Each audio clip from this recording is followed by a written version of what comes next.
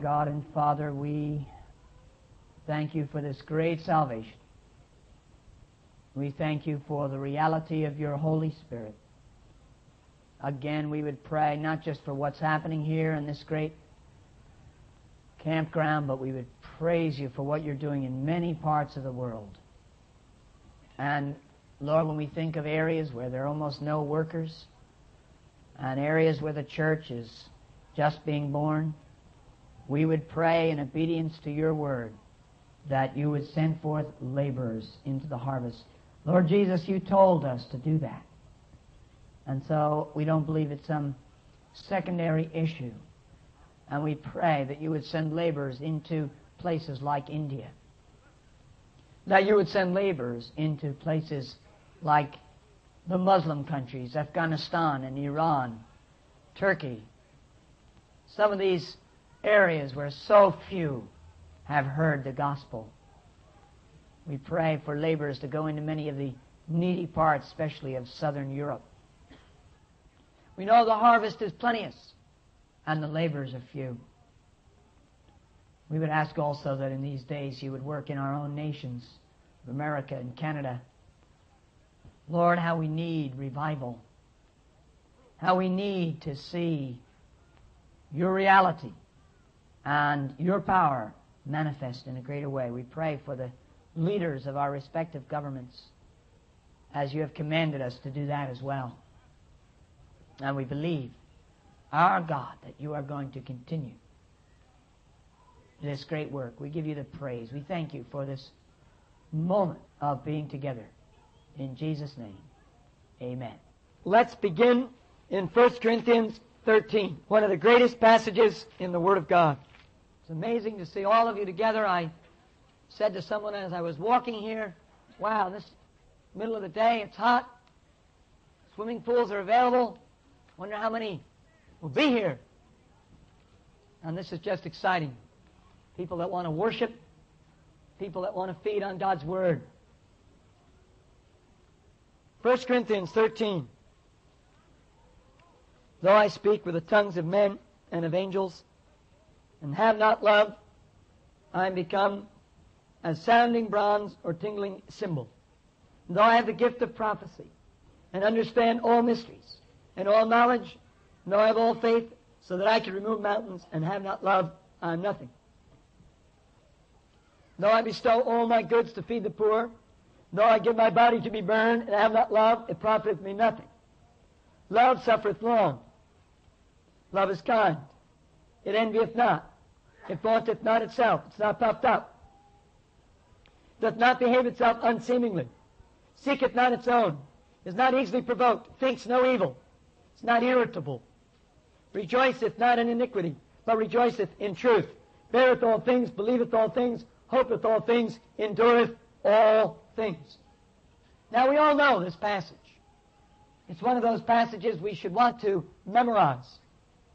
And with this passage as a foundation, I want to share with you, as time allows, ten foundations for communication. Ten biblical foundations for communication. My main work is not preaching. My main work is living.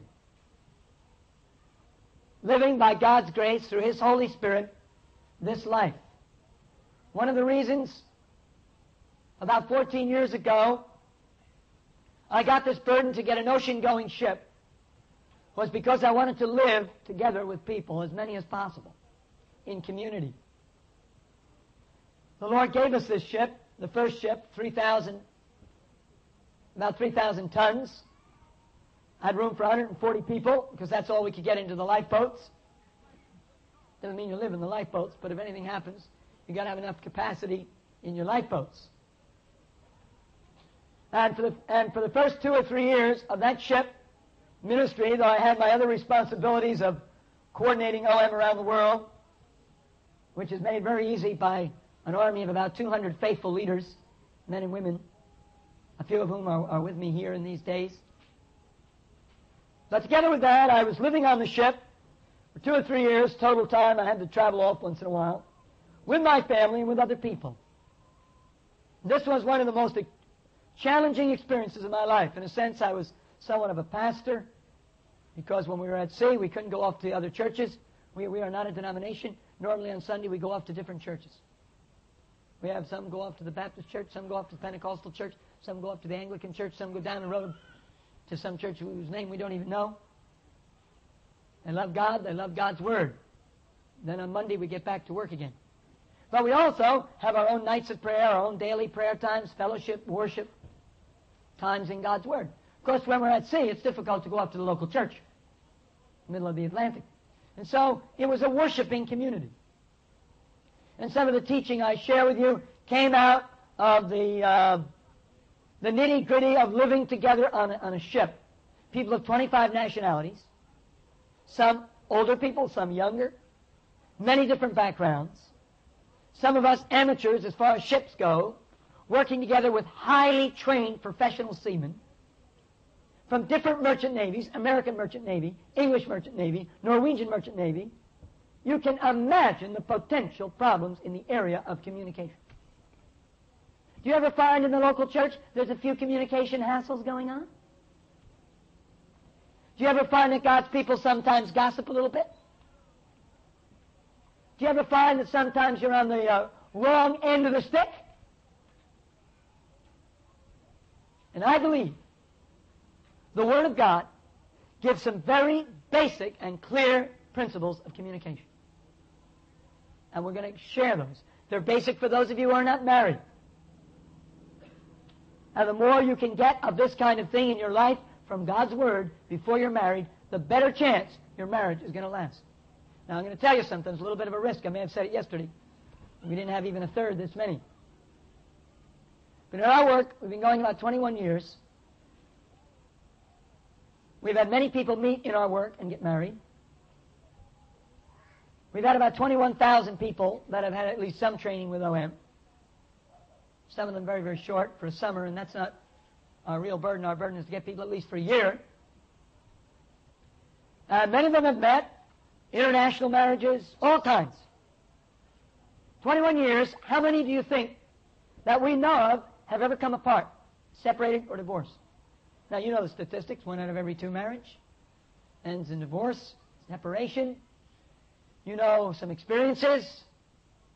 How many do you think? None. 21 years. Talking about a lot of people. These principles work. Now, we've had people come to us who are already married, and we discovered in some cases it was already too difficult to get some of these things in.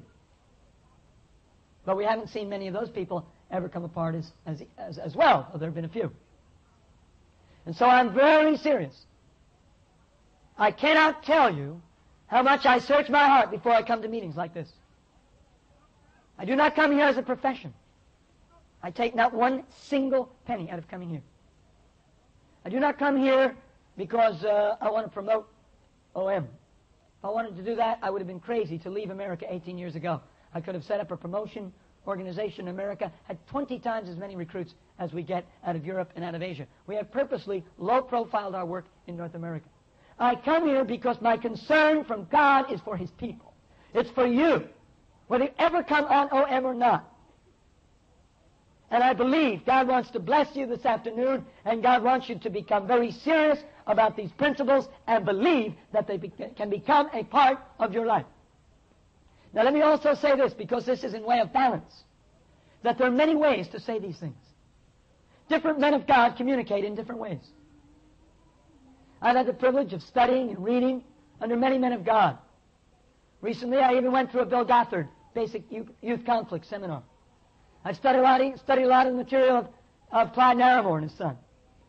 And Jay Adams, which is a totally different view from, from Narramore.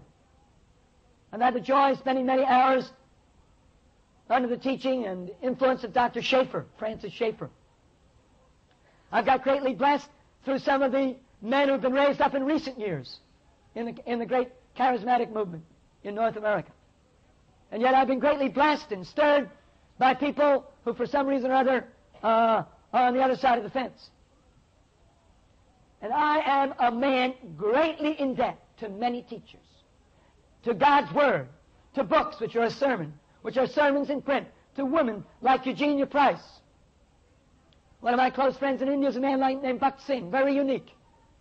Doesn't get on uh, with too many people. Has his own movement. Planted over 400 assemblies. I think we can learn from him. And so I come, sharing not uh, a lot of original things, a few, a few of my mixtures, as I've taken these different people and uh, tried to put them together, and they do come together. Let's look now at the first principle. I made a list to help me. You may make a list. Do what you want. Number one, learning to be unselfish. Philippians 2, 3, and 4.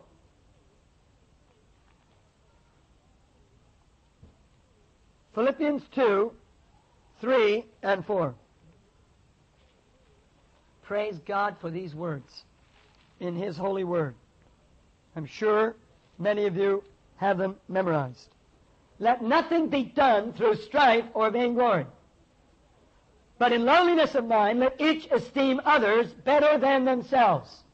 Have you ever heard a message on that Bible doctrine? You get some people that emphasize Bible doctrine. There's a Bible doctrine. It's in your Bible. It's teaching. You know, Bible doctrine isn't just about the second coming of Christ. That's very important. It isn't just about the inspiration of Scripture. That's also important. The atonement. Bible doctrine is everything we read in the Bible. And there are what I call the character doctrines. They're doctrines that are clearly concerning how we are to live. A lot of people change their eschatology. They go from a premillennial position to an amillennial position, or then to a pre-trib to a mid-trib, and then back and around, and they see a film and change again. And I meet people that change their ideas about the, the latter times, and in the process of these changes, their life does not change one inch. They remain the same selfish, egocentric Christian they were to begin with. And all of us have met such people. But if you start putting into practice this doctrine of esteeming others better than yourself, can you imagine what will happen in marriage? Esteeming your wife better than yourself. Esteeming your children better than yourself. Now, to do this, you have to have a certain amount of self-esteem. And we've dealt with that already. This whole thing of having a proper image of yourself, accepting yourself, knowing God's love, knowing the reality of forgiveness. These, these are foundations. Without that foundation, you will have trouble communicating. And I've already shared with people here on a personal basis and even in talking with them in five or ten minutes.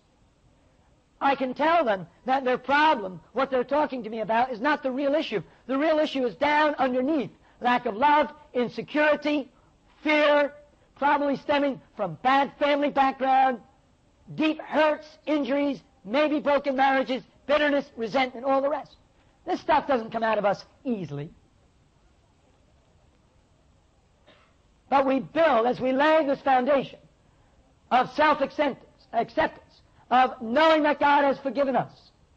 One of the greatest things that can happen to you at Jesus 78 is to go away knowing you are forgiven. It's not just the unsaved that we're preaching that message to. That message is for the saved as well. Saved people who are not living in the light of the forgiveness they have in the Lord Jesus Christ. I had a young man come to me. He said, I can't win any souls to Christ. This is years ago. There's no possibility of relating this with, with any person. My, my illustrations about people no one ever figures out because they're 10, 15 years ago or they're so unrelated. Nothing to do with anybody who's talked to me in the past weeks. That's something that's, that's light. This person came to me many years ago and he said, I don't believe God can ever use me. I said, what is it? I said, share it. He'd never shared it with anyone. Finally, it came out. He had raped his own sister.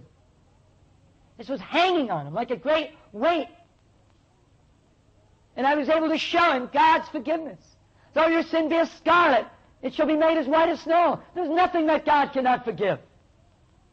Very seldom is it a case of the uh, blasphemy of the Holy Spirit. The very fact that the person is concerned about it is more or less a proof it's not blasphemy against the Holy Spirit. People get such a, uh, a, a bad view of themselves Like I said yesterday, someone who had a problem with masturbation, which I consider a minor problem. A fellow came to me with this problem, thought it was a blasphemy against the Holy Spirit. He's going to go to hell.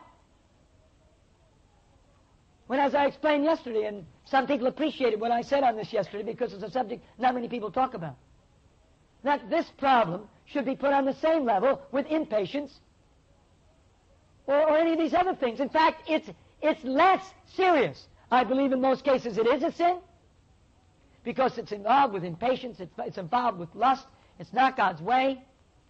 But there are certain sins that I believe are easy to claim a deliverance experience from. And again, God works in different people in different ways. But there are other sins that, as far as I can see in, in studying so many books and reading God's Word again and again, that for most people will be a perpetual battle, at least on one level. At least on one level. Try to understand that. And as we get this foundation of knowing we are forgiven, knowing God loves us, even though we have failed, we have been able, in, in these past 20 years, to see many people with pretty heavy problems greatly helped. We've had a lot of people with homosexual problems come to us. They expect when they write to us that we'll condemn them and say, you can't come on Operation Mobilization. You can't serve the Lord. After all, if you can't teach school, you can't serve the Lord. Well, there may be a difference. Maybe homosexuals, especially anyone who's practicing it, should not teach school. That's not my debate this afternoon. But our policy has been this. If a homosexual sincerely is saved, and therefore he's on his way out of his homosexuality, he realizes it, it is sin, not necessarily the emotion. You're not condemned for having a homosexual emotion. But if you go into the practice and get other people involved and you disobey the Word of God, you are, of course, sinning. Just as a man who has a problem on the other side of the fence, if he gets off doing things, he is sinning. Before God and as Christians, our problem is different from what the world is facing. Therefore, we cannot face the problem the same way that the world faces it. We hate all sin. The world says, worldly psychiatrists have been saying for years, if you've got a sex problem, you've got too much of an urge, you feel frustrated, may cause schizophrenia or neuroses, go out and find yourself a woman or a prostitute and, you know, release, release. Secular psychologists have been teaching this. Many are now pulling back from that because they saw that whereas legalism may have caused a minor neurosis, liberty seems to be causing major psychosis. And I think most of you know at least the difference in terms of seriousness. And so we've had the joy of seeing people with a homosexual problem learn God's way of discipline, learn the power of the Word of God, learn God's therapy, learn how to communicate, learn how to repent, and see them effectively serving Jesus Christ. Now the battle never ends. And we will not take someone who thinks that they're just, uh, the battle's all over, they're totally delivered, there'll never be any problem again. Therefore, what happens? They slack off. They become undisciplined. They become careless. And the devil zaps him again and again. I say these things because I find so many people today feel they have a special problem. Your problem may not be that special problem, but you have something else. And I feel as a foundation for this message. You need, you need to say to God, because of Jesus, I know that I am forgiven. I am forgiven. Then you move on to learn what it is to communicate to others. And number one, you learn to be unselfish. I've seen that the greatest problem in many ways in my own life has been selfishness. Even as someone who has been a missionary, so-called, for almost 18 years, more actually. Though the first years I had to come back and go to school, and only went to Mexico in the summer and uh, Christmas. But I've seen how easy, especially after I got married, how easy it is to be selfish. Even in spiritual things. I was very selfish about my quiet time. I have my quiet time. In the morning. What about my wife? I didn't think much about it. She's got to get my breakfast. She's got to get my cup of tea. She's got to get the children ready. She makes the bed. She hunts around and chases and looks for my socks. And I'm becoming more spiritual, having my quiet time. And God had to break me. The reason I recommend that book, Calvary Road, perhaps one of the greatest Christian books of all times, now in 30 languages or more, is because it exposes selfishness. I found, for example, that I easily became irritable. That's linked with a self-life. It's, uh, it's linked with uncrucified self. I was sitting at my desk, studying the Word of God, preparing a message. My wife comes. She just wants a few minutes. In love, she puts her hands on my shoulder, but at that time, because of the self-life, I'm in a particular mood. I'm in the don't put hands on shoulder mood at that time. She is feeling a need, perhaps, for a little romance. Maybe she would like to at least say hello to me. You can't tell your wife, you know, get an appointment with, with my secretary. May God have mercy on the busy executive. And so she puts her hands on my shoulders, but because self is intact, and because victory over the self-life doesn't happen that easy, I turn and I say, look, how about not bothering me right now? Can't you see I'm busy? Now, I don't know how you, as a wife, would take that. But my wife started to cry. Fortunately, because of God's word, I turned around and I soon repented and said I was sorry and we got together again. Now, maybe some of you are married. You, you never have any arguments in your marriage. You're both very calm and totally filled with the Spirit 24 hours a day and, just moving along on uh, some cloud you found up in the Spiritual Life Convention. Moving along year after year. It's all wonderful. All the children grow up. They never argue and they all, they all accept Christ at 11 years of age and are filled with the Holy Spirit, and they go on to serve the Lord, and their children all grow up and they never argue and go on to serve the Lord. And it's just all wonderful. Now, I can tell you, for those of you who have it all together like that, you're in the wrong tent. I, I recommend you don't waste your time, just go swimming. But I tell you, in our family, it's been a little bit of a rough road. Because I'm a bit of a, a loudmouth. My kids are all a bit noisy. And uh, I remember we were in Rome. God was still training me in the school of unselfishness. Here I was leading Operation Mobilization. I had 2,000 people under my leadership. Rome, 1963. And yet I couldn't keep my own family functioning properly. And I remember saying something unkind to my wife. And at that moment, often she didn't ever say anything back when I said unkind things. My wife has been such an example of love, submission, and patience, I cannot tell you. But sometimes when she was in a struggle or I said something really stupid, boy, I tell you, when she does let go, I mean, she, you know, woo! I tell you.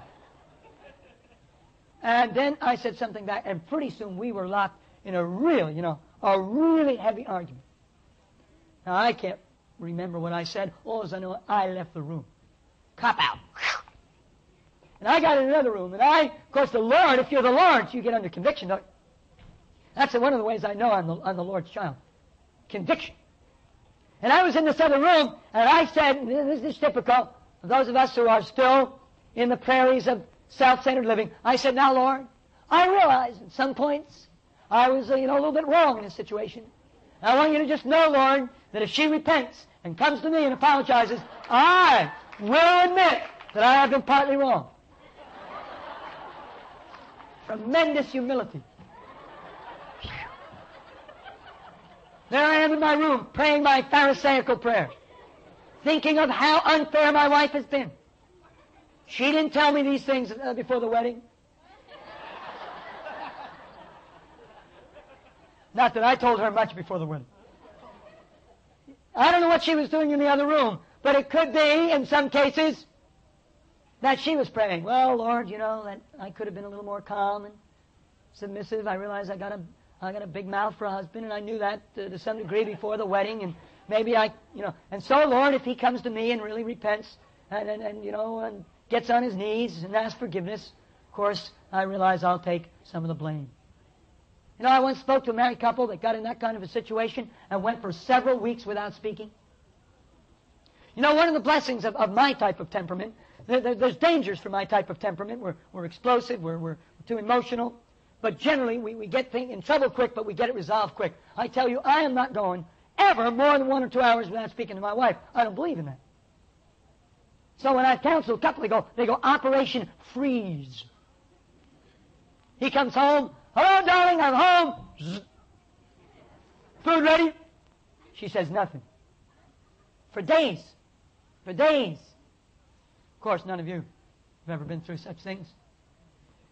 But Calvary Road and the Word of God teaches repentance, teaches brokenness, teaches esteeming others, teaches dying to self. And when we do that, and that's the very basic thing the Bible talks about as far as spiritual life, then we rush back to each other repenting, saying we're sorry, apologizing, and we get united at the foot of the cross. The worst argument we ever had was in Kabul Gorge. We were in the back of a truck. Been a rough journey. Heat was 110. We were up heading toward Kabul, Afghanistan. And somehow we got on each other's nerves. You know, don't condemn yourselves if that happens. Don't think there's no hope for your marriage if you keep getting on one another's nerves. You bug each other once in a while, whatever other terminology you want to use. Learn to repent. Learn to accept yourself. Learn, we're going to get to this again later, to accept one another's weakness. Learn to be unselfish. So oftentimes, and we've had crises just, just, just trying to go to sleep. Because I found it difficult sleeping in one of these, these beds together. I wanted blanket, pull the blanket. She started pulling the blanket. And I felt my wife was really inconsiderate. And she kept taking the blanket. She fell, because I always went to sleep very quickly, she has trouble going to sleep. I go to sleep, boom, three minutes. Then in my sleep, I roll over, curling up the blanket, and of course it unwinds off her. She's there shivering in the night, and I'm wrapped up in about three layers of blankets. Then, if she wakes me up and asks for the blanket back, I explode. Because, I don't know about you, but if I'm half asleep, I'm a little less sanctified when I'm totally awake. And, uh,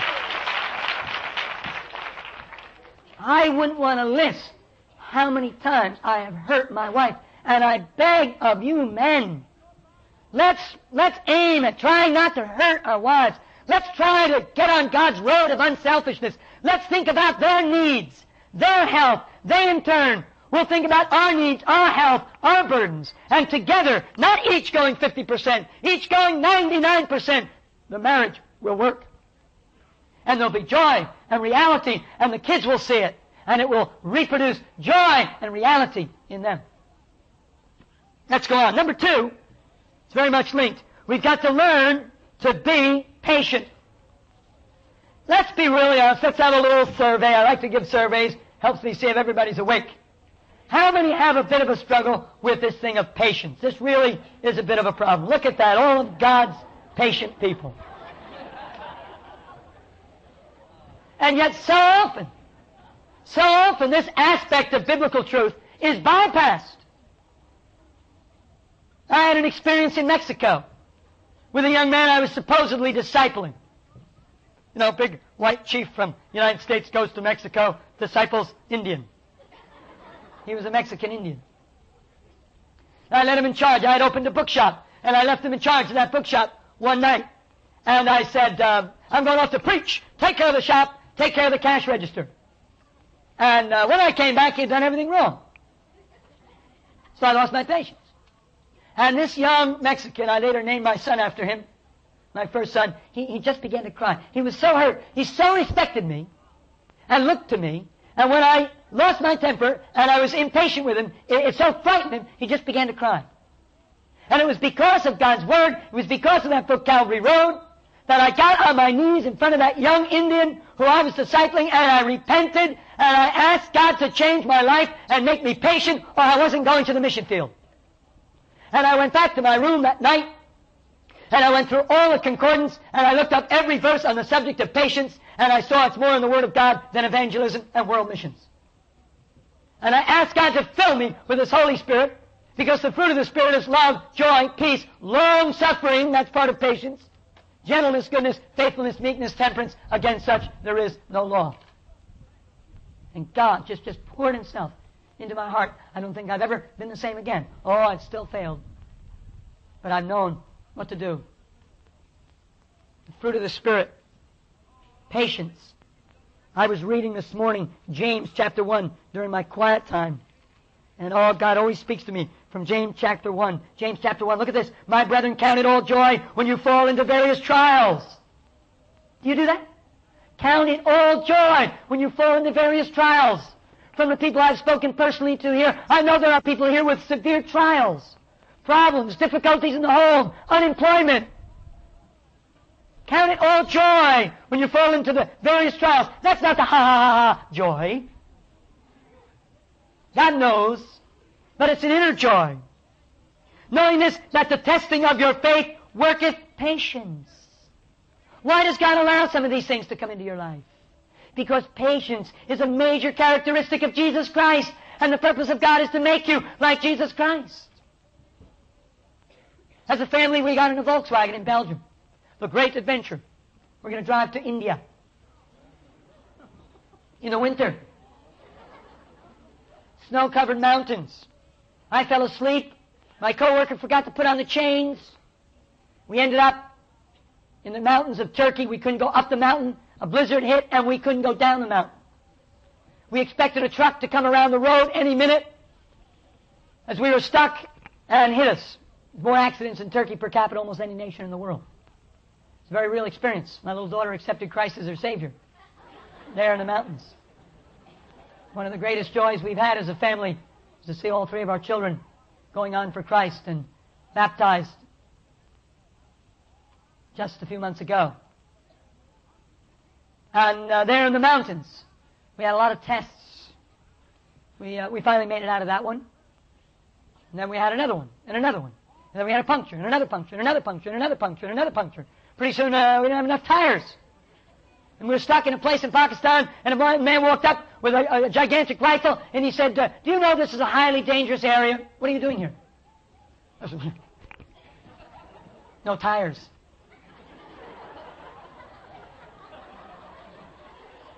And uh, he said, Well, I better guard you because people are being killed around here. and again and again, in the work that I have done, I don't know about you, again and again, things have gone wrong. I planned it this way. It didn't go my way. I prayed about it. Somebody comes up and says, Well, didn't you pray about it? You know, as if prayer was some kind of a, a slot machine. You know, just put your little prayer in. That's not prayer. You know, A.W. Tozer said something I'll never forget. He said there's three kinds of problems. There are problems that come and go. They come and go. Like a mosquito. He comes, lands on your nose, he goes. You don't have to have a major intercession, prayer time for the mosquito. He just came and he went. Then there are problems that come. And through prayer, they go.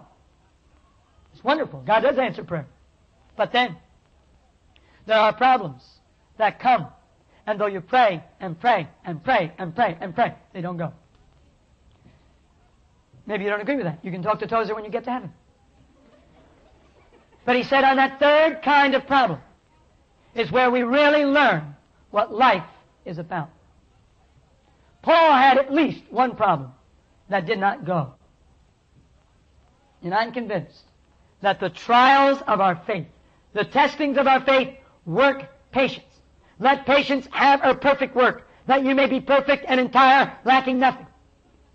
And God is concerned that we learn patience. There's a whole series of books, beauty care books. I know some of you are very heavy on beauty care. You spend a lot of time in front of the mirror. Some of you are beginning to lose hope, but keep pressing on. Don't get discouraged. But in the tent, you'll find a set of beauty care books. You'll find beauty care for the eyes. Those of you who have wandering eye disease can even be a problem here at this wonderful Jesus festival. Then there's those who have trouble with their tongue. And there's a book, Beauty Care for the Tongue. And I think there's one other beauty care book. I haven't read it yet. You know, it's amazing how the Word of God has provision for all the, all the needs.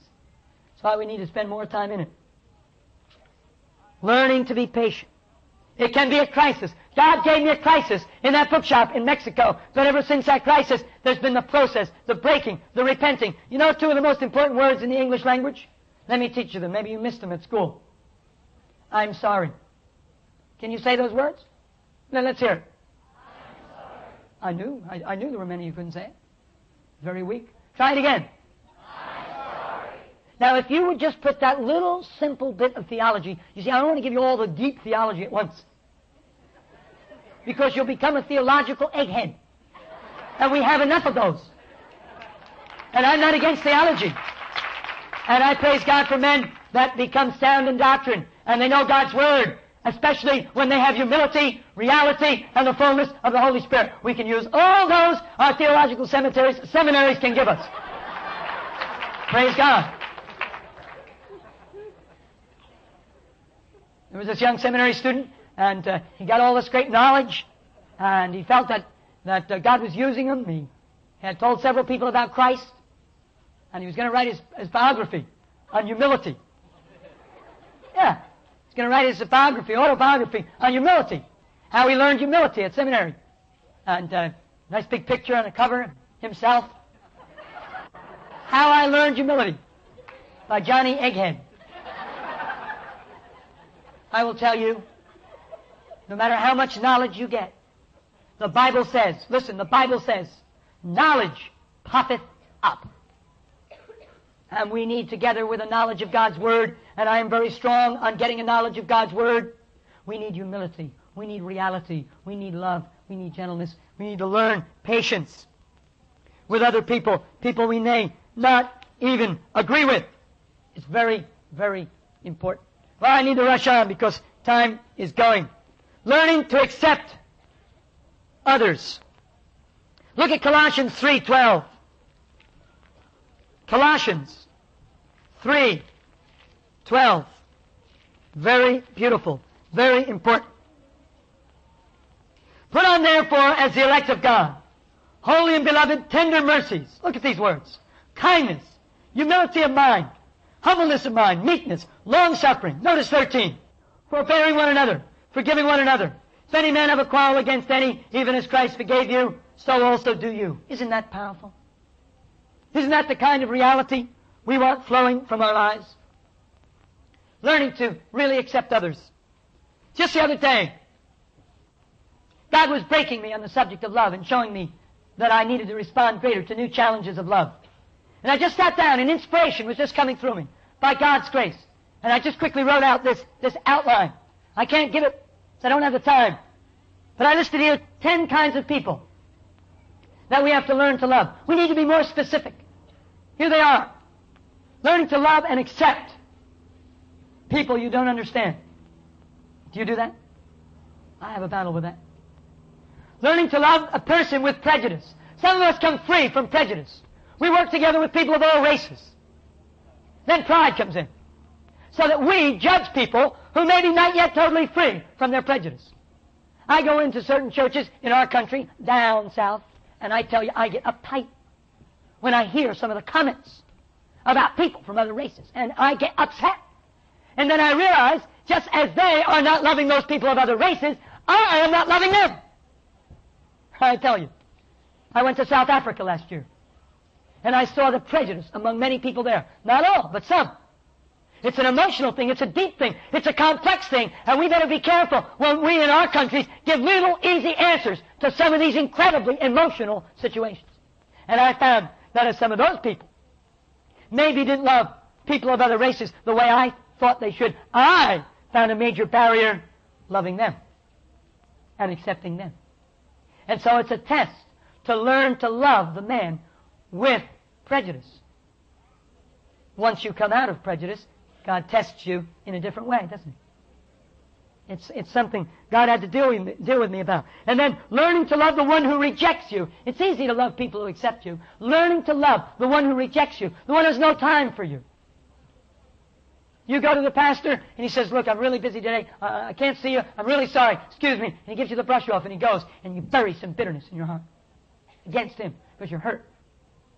Learning to love the one who rejects you. Learning to love the unattractive or the disabled. Learning to love the homosexual. Learning to love the slow. Oh my. What a battle that was for me. And then the poor soul that has to live with me and learn to love the fast, Mr. Too Fast, who often gets in a big mess in the process. Learning to love the perpetual backslider. You ever worked with any of those? It's one thing to disciple somebody and you see him go on and people look at him and you even have people come, boy, the Lord really used you, brother, to disciple him.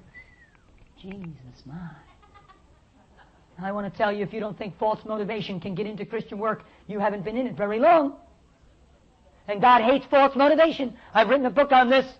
It's now a chapter in this new book, Revolution of Love and Balance, called Pseudo Discipleship. False motivation. It's not just what we do, beloved. It's why we are doing it. Why we are doing it. And God had to break me on that point. And some of the people I discipled, they backslid. And God showed me to keep loving them, accept them back. I had one brother backslid probably 15 times in one year, and I'm not talking about just some little thing in the head. I mean sin. There is a place for discipline. But learning to love such people is a great challenge, and to accept them and to see them restored. Learning to love the self-righteous. Oh, I find that a problem. Guy knows it all. He usually strongly disagrees with me. That makes it even more difficult.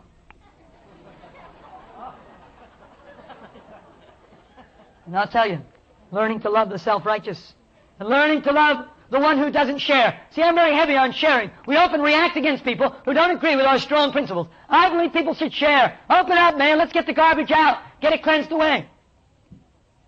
Brother comes to me for counseling. We sit for an hour. He's told me about his grandmother.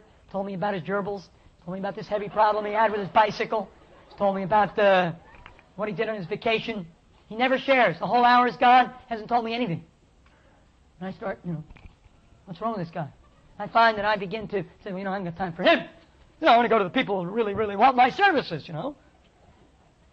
I want to tell you, pray for those of us who are Christian workers. Will you pray for us? We're a needy batch. I can't speak for the rest. But in our work, OM, we're a needy batch. Pray that God will humble us. Pray that we may know reality on a deeper level. Pray that we may walk in the light. Pray that we may know the reality of humility. And then learning to love the liar. Ooh, some of us are, are men of truth. Aaron, truth. And we meet somebody who's got a problem with telling the truth. We reject him. Don't jump down your children's throat, hit them on the head with a brick the first time they tell you a lie. Love them. Accept them. Forgive them. Teach them. Set the example. Learning to love the mentally disturbed. What a rejected group of people they are so often in our, in our society. And I, I haven't got time to go into my burden about some of the easy answers that people throw out that, that, that drag mentally disturbed people even deeper. There may and there is such a thing as demon obsession and possession. But most of the people we meet, I am convinced, that have deep emotional problems or are mentally disturbed, I do not believe that is the problem. And I believe we need to love and accept and be willing to do what we can with this great mass of society rather than condemning them, especially if they don't immediately respond to our easy answer. And then learning to love people of all races. All races. That's why I like to get people on OM. Get them with all my African friends, all my Indian friends. We're one third non-white. That makes some people uncomfortable. Especially if their leader is from Africa. Or a black American. One led our work in Iran for years in the early days.